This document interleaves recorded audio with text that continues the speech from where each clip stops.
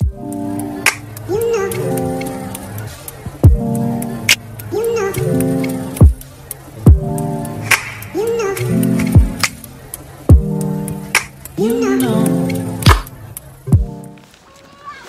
Moin meine Aktiven und herzlich willkommen zurück auf diesem Video. Ich bin der Silbermatze schön, dass ihr eine weitere Runde eingeschaltet habt. Ja, sogar mein Sohn, der im Hintergrund etwas, naja, äh, deutlich ist, sagen wir es mal so. Ähm, zum Thema. Heute werde ich nicht allzu viel über den Gold- und Silberpreis sprechen, denn der ist momentan selbst erklärend. Heute möchte ich ein bisschen ins Detail gehen, beziehungsweise ein paar Dinge klarstellen, äh, was unsere vorsichtig ausgedrückt unsere Regierung betrifft. Es wird ja immer ganz gern behauptet, ähm, wir steuern in den sogenannten Sozialismus zu. Das wiederum eröffnet äh, Möglichkeiten eines Goldverbots. Ich drücke es mal so aus. Ähm, jetzt möchte ich aber diesbezüglich auch mal vom Grunde genommen her ein paar Dinge ähm, aufzeigen, ähm, was den Staat und sogenannte Goldverbote und Edelmetallverbote betrifft. Das ist mir wichtig, denn ähm, da herrscht wohl ein bisschen Irrglaube, weil wohl anscheinend der Glaube herrscht und mit diesem Glauben möchte ich, mit diesem Mythos möchte ich ein bisschen aufräumen. Der Glaube herrscht, es wäre nur ein Goldverbot möglich, ja. Und diesem Mythos möchte ich etwas entgegenwirken, denn tatsächlich habe ich ein bisschen recherchiert, naja, etwas genau recherchiert. Und ähm, dazu muss man sich das Grundgesetz ein bisschen anschauen, den sogenannten Artikel 14 Absatz 3 sowie den Artikel 15 des Grundgesetzes. Könnt ihr gerne durchlesen, sehr spannend, denn genau diese zwei Artikel, liebe Freunde, eröffnet nämlich ähm, für die Regierung äh, sehr tiefgreifende Möglichkeiten. Es wird immer ganz gern gesagt, ähm, Silber zu verbieten wäre schwer. Ja? Tatsächlicherweise ist es aber so, dass es in diesen beiden Artikeln so geregelt ist, dass man gewissermaßen alles, alles enteignen kann, ähm, solange es einem höheren ähm, sozialen, ähm, öffentlichen Wohl dient. Ich formuliere es mal so, ja. Das heißt im Grunde genommen, wenn der Staat jetzt sagen würde, okay, ich brauche dieses Gold oder dieses Silber oder was ihr auch immer für Sachwerte habt, ähm, um damit meine Schulden abdecken zu können, um damit dem Allgemeinwohl also meinen Bürgern, ähm, ja, ein Gemeinwohl bzw. gerecht werden zu können, weiterhin die Aufgaben meines Staates wahrnehmen zu können, muss ich das entziehen. Dann, unter diesem Aspekt, kann er das auch jederzeit machen. Passiert auch tagtäglich. Jetzt nicht unbedingt, was die Edelmetalle betrifft, sondern zum Beispiel in anderen Rahmen nutzt man diese Möglichkeit dieser zwei Artikel ganz gerne. Hauptsächlich Artikel 14, Artikel 15 ist so in der Form. Da komme ich aber später noch darauf, noch nicht angewendet worden, zumindest so wie ich das jetzt recherchieren konnte. Artikel 14, Absatz 3 etc. aber schon. Ähm, und zwar wird das ganz gerne genutzt, um zum Beispiel ähm, Grundstücke zum Enteignen. Ja, wenn zum Beispiel die Regierung beschließt, sie baut eine Bundesstraße von links nach rechts und genau in der Mitte dieses, dieser Bundesstraße ist zum Beispiel euer Grundstück. Ja? Dann kann die Regierung dieses Grundstück enteignen, natürlich gegen eine Entschädigung. Allerdings steht auch da, dort wieder drin, gegen den aktuellen bzw. angemessenen Zeitwert, ja, Zeitwert, was auch immer das bedeuten mag. Ähm, kann sie hergehen und dieses Grundstück enteignen und das tut sie auch, weil sie baut jetzt diese Straße und diese Straße dient einem höheren Gemeinwohl. Eben den anderen Bürgern, die zum Beispiel die arbeiten müssen, für Kranken, ähm, also Krankentransporte, Polizei etc. und so weiter. Hat also ein höheren, höheres Gemeinwohl, gewissermaßen ein höheres Ziel, so gesehen. Ja? Dann kann sie das machen. Ähm, macht sie auch in anderen Sparten, zum Beispiel Grundstücke oder auch Häuser und Wohnungen ja, werden enteignet. Wenn es zum Beispiel, ja, es kam zum Beispiel, so wie ich, so wie ich das jetzt ähm, recherchiert habe, auch vor, dass zum Beispiel ähm, sogar äh, Grundstücke und Häuser enteignet wurden, aufgrund von neuen äh, Erschließungen, was zum Beispiel Elektrizität betrifft. Ja, dann hat man ähm, diese ähm, Grundstücke enteignet, um dort zum Beispiel Kohlekraftwerke bauen zu können, weil es äh, Elektrizität dient ja einem höheren Gemeinwohl. So, ja, auch das gibt es. Und tatsächlich ist es auch so, dass wenn die Bahn eine Strecke baut, und euer Grundstück ist im Weg, wird auch das enteignet, weil die Bahn dient einem höheren Gemeinwohl.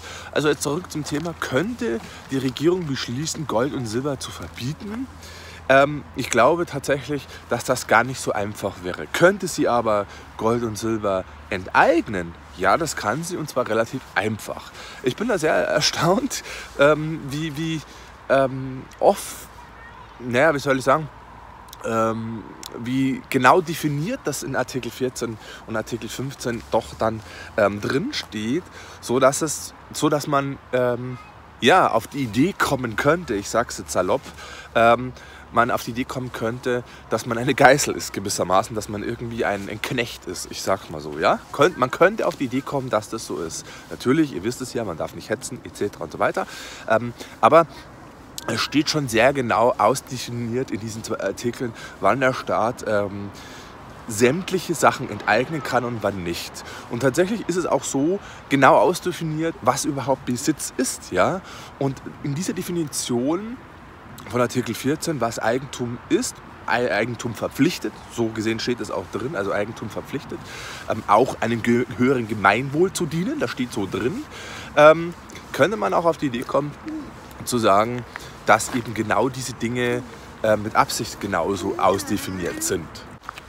Insofern ist es erschreckend zu lesen, dass das so ähm, drinsteht in Artikel 14.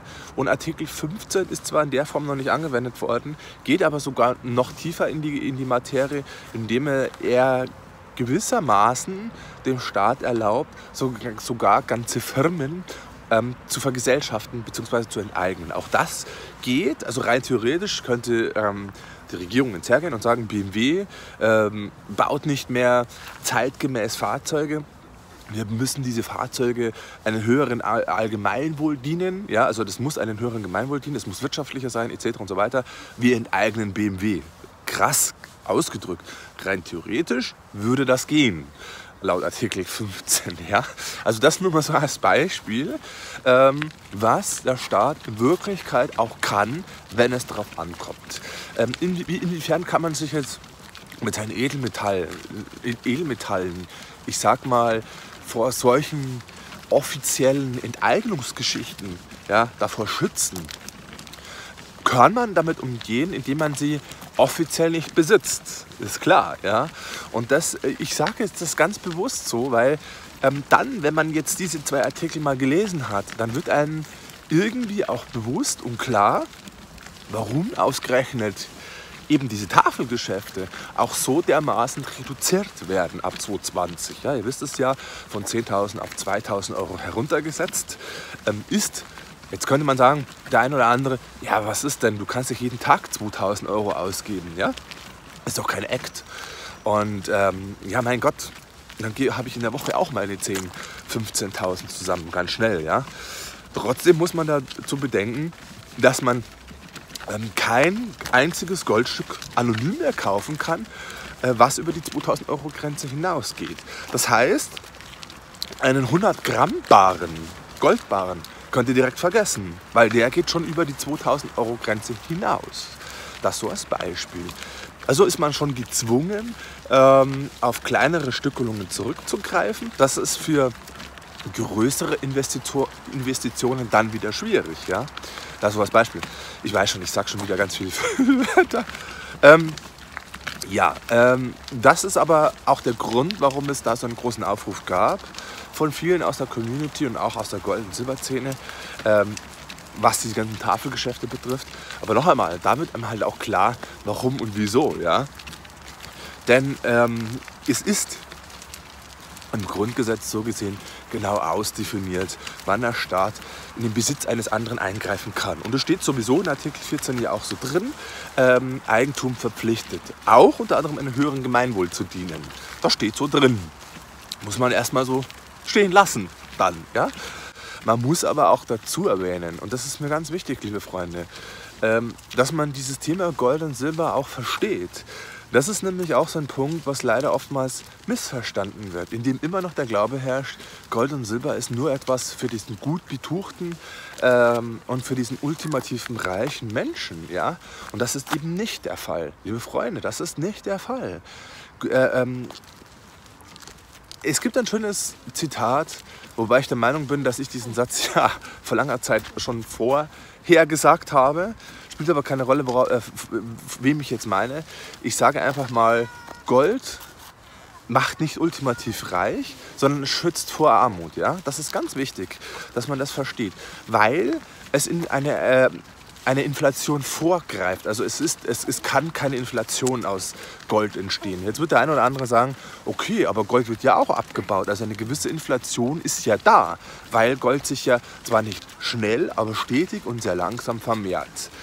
Mag soweit stimmen, dass ähm, Gold immer noch gefördert wird. Allerdings, und das muss man in der Relation zu der aktuellen Menschheits- äh, zu, dem aktuellen, zu der aktuellen Menschheitswachstum, also zum Menschheitswachstum betrachten, meine Güte, heute wieder, ähm, dann wird man feststellen, dass sich Gold in Wirklichkeit nicht vermehrt. Ich sage das ganz bewusst, liebe Freunde. Das ist, man muss versuchen, das zu verstehen, ja, weil immer Menschen glauben, ja, Silber vermehrt sich, wird, abgebaut, Gold vermehrt sich, wird abgebaut, Silber wird eingelagert in hohen Mengen, weil man ähm, schon weiß, dass Silber irgendwann knapp wird, etc. und so weiter. Also es ist ja eine gewisse Inflation auch bei Gold und Silber da. Nein, liebe Freunde, eben nicht. Das ist genau der Punkt, den man verstehen muss, wie ich finde, weil noch einmal, ähm, die Menschheit wächst trotzdem weiter. In den 60er Jahren, von den 60er Jahren bis jetzt, circa glaube ich, so mich zu erinnern, hat sich die Menschheit verdoppelt.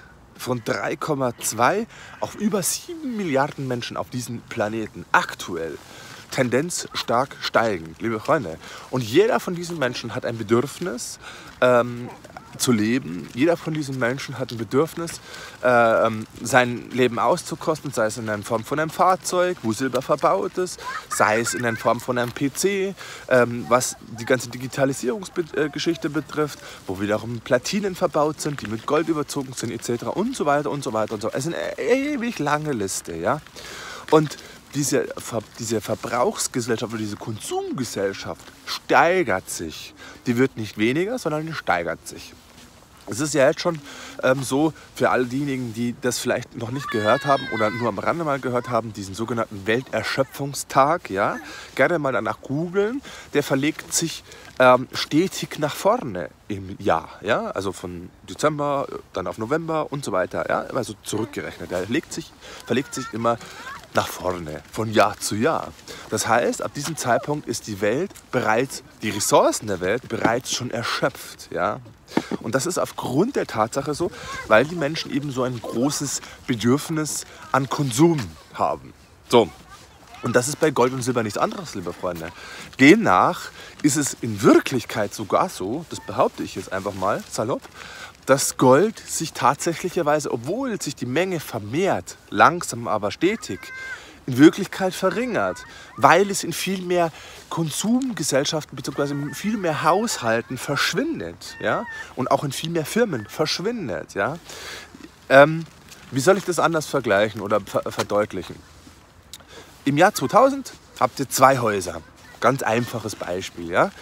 und äh, vier Goldstücke. Und jeder von diesen zwei Häusern hat einen Goldbedarf. Also teilen sie sich diese Goldstücke auf. Na? Dann sind, hat jeder zwei Goldstücke. Im Jahr 2002 sind es aber schon vier Häuser, aber immer noch die gleichen Goldstücke oder meinetwegen ähm, zwei Goldstücke mehr. Ja? Und so weiter und so weiter. Nur die Hausanzahl, also es sind dann nicht mehr vier, sondern irgendwann sind es fünf, sechs, sieben, acht, die wächst viel, viel schneller, wie man das Gold abbauen kann. Das ist ähm, im Prinzip das, was ich aussagen will, dass äh, der Bedarf an Edelmetalle und das ist so, dass äh, ca. 80 Prozent des ganzen Goldbedarfs auf der Welt die, durch die Schmuckindustrie bestimmt wird, eben verschwinden wird. Ja, liebe Freunde, wenn euch das Video gefallen hat, gerne liken, abonnieren und kommentieren. Eure Meinungen sind wie immer dazu gefragt. Und dann sehen wir uns im nächsten Video wieder. Bis dahin, macht es gut und danke fürs Zuschauen. Ciao.